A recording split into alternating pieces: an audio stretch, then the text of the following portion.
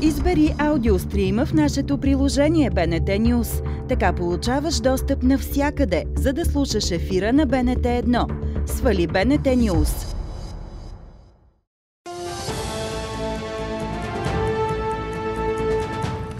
Отпадна забраната за внос на зърно от Украина. Българските земеделски производители са в протестна готовност. Петър Тодоров, който с над 2 промила алкохол в кръвта блъсна и уби Филип на пешеходна пътека в центъра на София, остава в ареста. Съучениците на Филип излизат на шествие в негова памет тази вечер. Останки от предполагаеми извънземни бяха показани в Мексико. Те са с три пръста на ръцете и удължени глави. Имаме си работа с нехуманоидни екземпляри, които не са свързани с други видове в нашия свят. В още от деня заместник председателят на парламента Кристиян Вигенин и още политическата картина преди местните избори Димитър Ганев от Трент.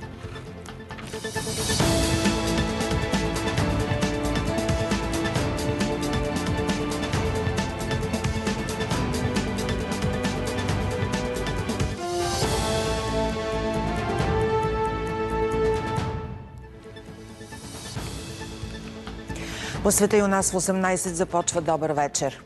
Съученици, близки и дори непознати хора не могат да се примирят с загубата на 15-годишния Филип, блъснат и убит на пешеходна пътека в центъра на София. Тази вечер те излизат на шествие в негова памет. Шофьорът, който го блъсна, Петър Тодоров, остава в ареста. Тодоров е изпил 6 бири преди да удари момчето с 88 км в час. Иво Никодимов е заедно с децата на шествието. Иво, добър вечер. Какво си говорят са учениците на Филип? Да, с, с, с, с, с, с, Здравейте, с учениците на Филип. В навечерието на първия учебен ден се казват, че а, трябва да предотвратят а, подобни трагедии и повече да не се а, случват. Казват между себе си, че това, което зависи от тях е да излязат, да покажат, че не може по този начин децата да не се опазват. Казват всъщност, че ние трябва да пазим както себе си, така и останалите, независимо къде сме и какво правим в всеки един момент. Интересното е, Нора, че тук, освен са учениците на Филип от 30 и второ училище са дошли деца и от други столични училища, за да почетат паметта на 15 годишното момче. Всички те казват, че пресичат правилно пътищата и молят да не бъдат убивани. Чуйте още както от класната на Филип, така и от негови съученици и учители. Искам да предотвратя това отново да се случи такава трагедия, защото Филип беше невероятен човек и не мога да повярвам, че може да си отиде без от това да излезе поне нещо позитивно за напред. Позитивно е да си опазим децата и повече да няма такива инциденти, да не скърбим, да не се налага да организираме такива походи за нещо лошо, а хората сами да разберат, че трябва да се пазим взаимно. Искам да бъда съпричастна с а, тези неща, които се случват по пътищата и да се спре по някакъв начин, ако е възможно. Какво трябва да се обяснява на децата, когато тръгват на училище, когато се прибират от училище? А, за съжаление на децата ние им обясняваме и те спазват, както в случая обаче има недобросъвестни шофьори, за съжаление. 엄마 Иначе, Нора, както ти каза по-рано днес, Софийският апелативен съд отказа да освободи а, от ареста а, Петър Тодоров, шофьорът, който а, прегази а, на 2 септември а, Филип. А, днес в съдебната зала стана ясно, че след а, като е станал инцидента, а, пред полицайите самия Тодоров е казал, че е изпил 6 бири преди да се качи а, зад волана. 2,1 промила е било съдържанието на алкохол в а, кръвта му. А, той се е движил по не широката, по-скоро малка столична улица Гурко с, забележете, 88 км в час при максимална разрешена скорост за движение в този участък от 30 км, т.е. близо три пъти по-висока скорост от максимално разрешената. По тази причина съда каза, че Петър Тодоров е особено обществено опасен със своето поведение. Има опасност да извърши друго престъпление, ако е на свобода, заради което трябва да остане с постоянна мярка задържане под стража. Иво, само видях, че съучениците на Филип се изнасят зад теб. На къде отиват? Шествието ще тръгне от тук по булевар Тодор Александров, посока площад Независимост. Оттам ще мине покрай Националната художествена галерия по булевар Цар Освободител.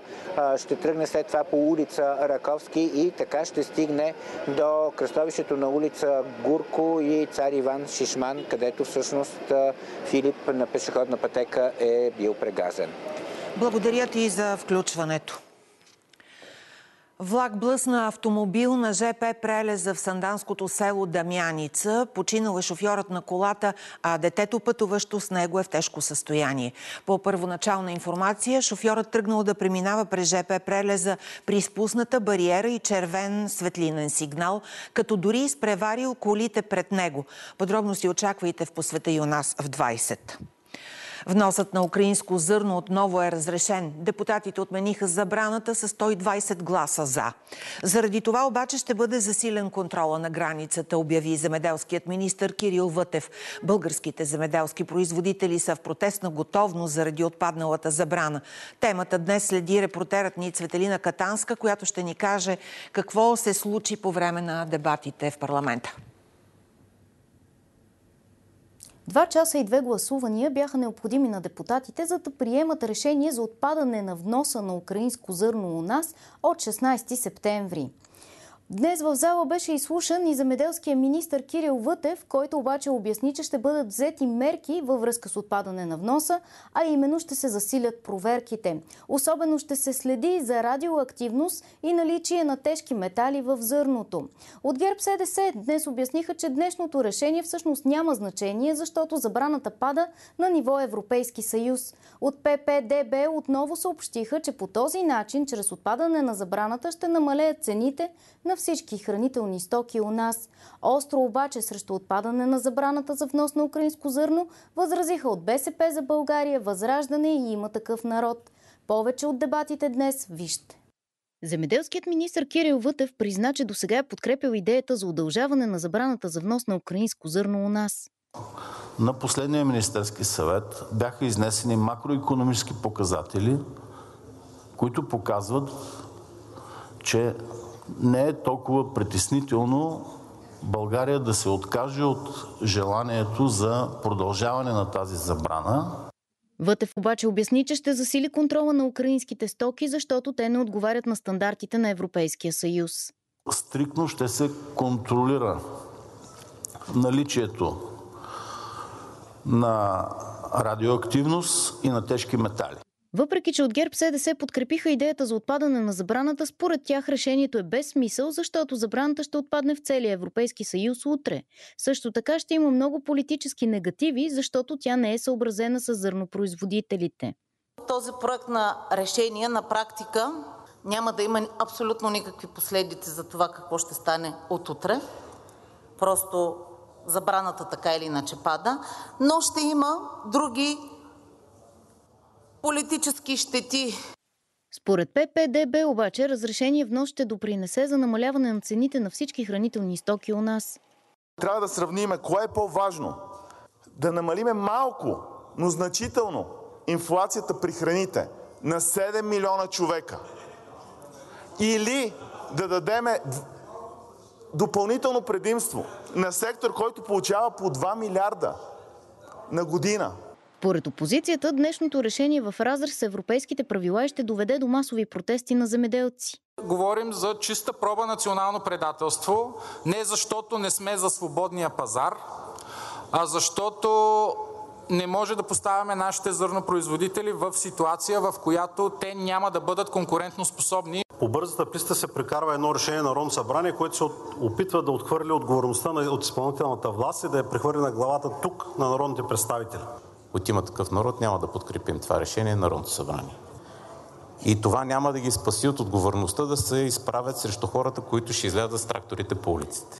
В събота земеделският министр ще се срещне с зърнопроизводители, за да обсъди с тях какви мерки могат да бъдат взети, така че те да бъдат компенсирани заради понесените загуби от внос на по-ефтино украинско зърно.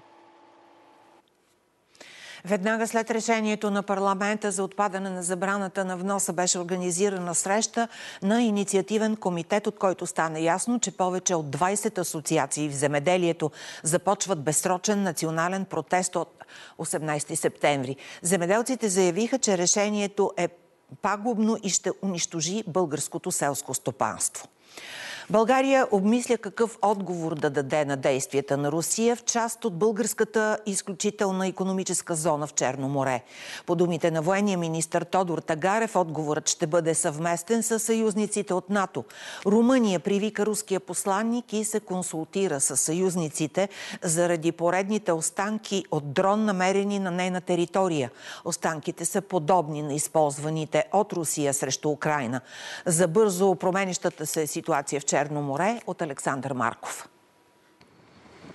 Съюзниците по НАТО могат да отговорят на руските действия в Черноморския регион не само чрез присъствие на кораби, заяви военния министр Тодор Тагарев.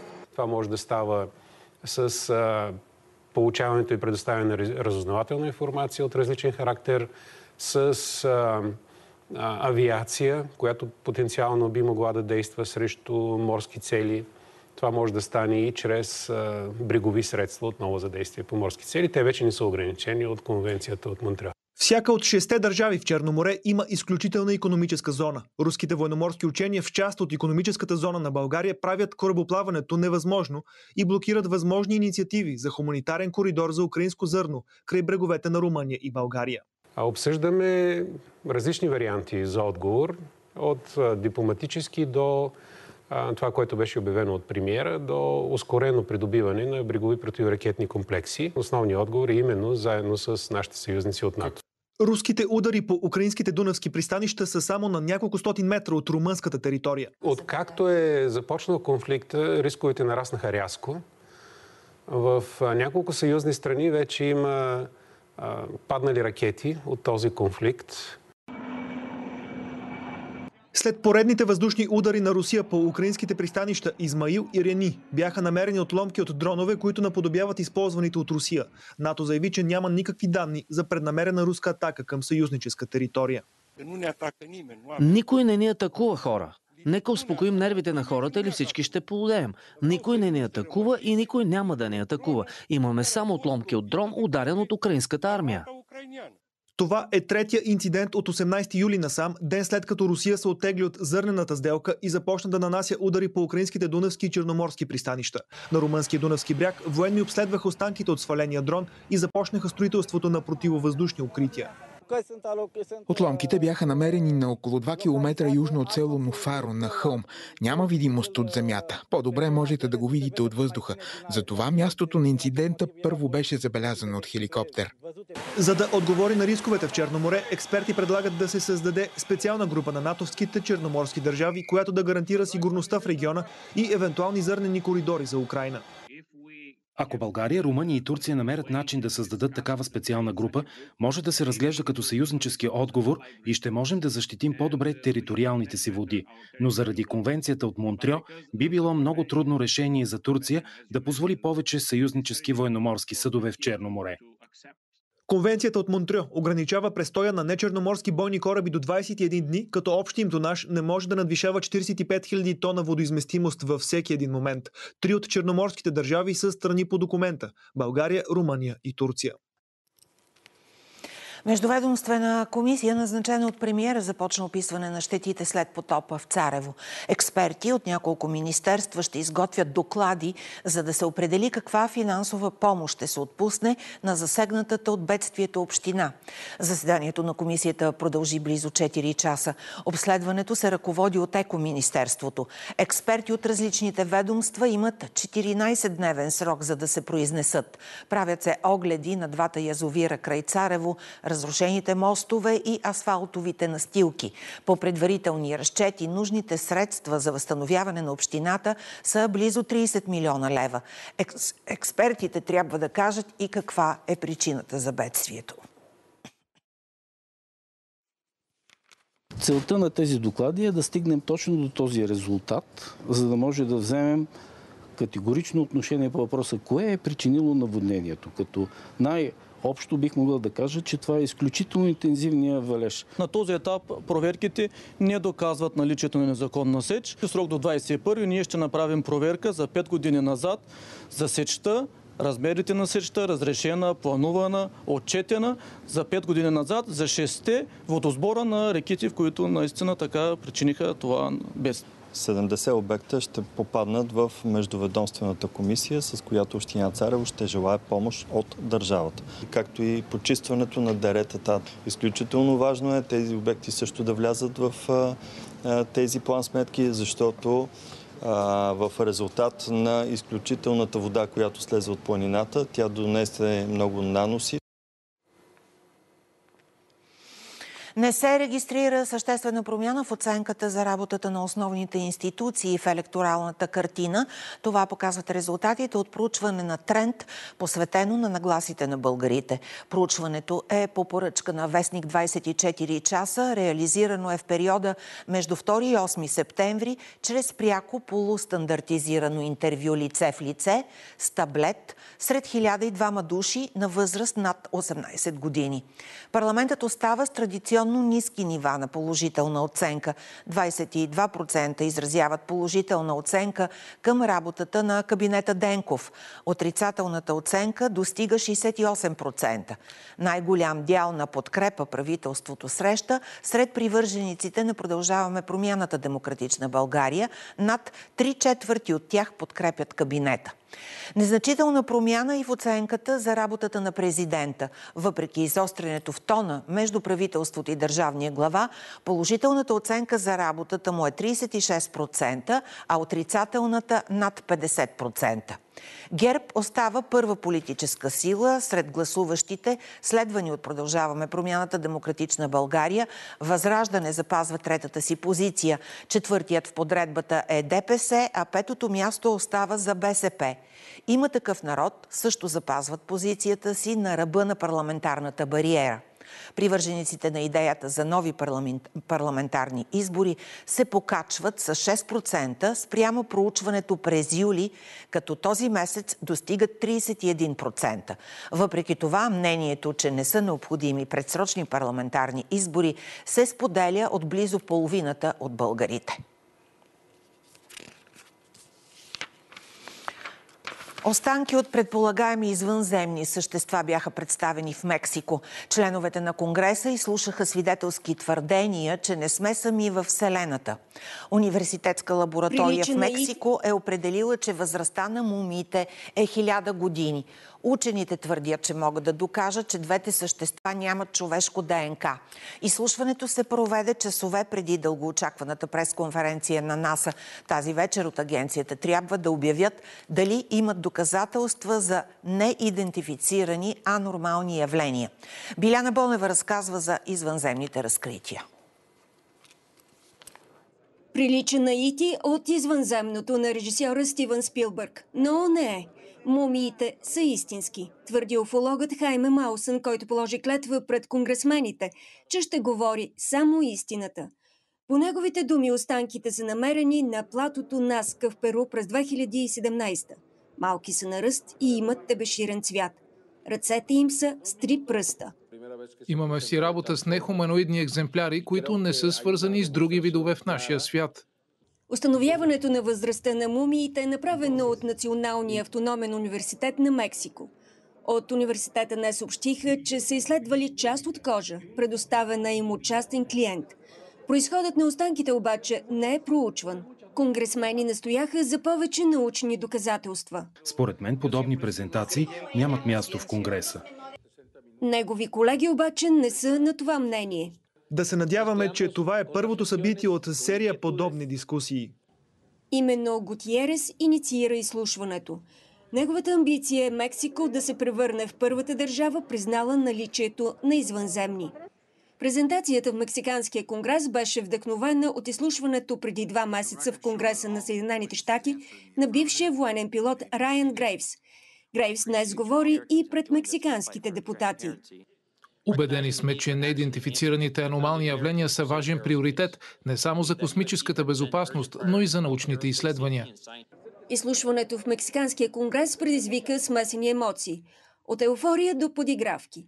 Скептици твърдят, че мумиите не са истински. Появиха се предположение, че останките са конструирани от части от различни животни и че главите най-вероятно са отламни. И докато Маусен търси още научни доказателства, почитателите на Ити могат да си отдъхнат. Със сигурност е установено, че симпатичното извънземно от екрана не се е превърнало в мумия. Репортерът на предаването на БНТ говори сега Паулина Найденова. Стана майка късно с нощи. Роди се Мартин, който тежи 3 кг и 700 грама и е висок 51 см. Семейството сподели във Фейсбук, че щастието им те първа започва и благодари на доктор Веселин Дяволов и екипа от Майчин дом за грижите и вниманието. По света и у нас пожелава на мама, татко и Мартин много да се обичат и да живеят в радост заедно. Сега останете с Надя Обретенова и предаването още от деня. Приятна вечер!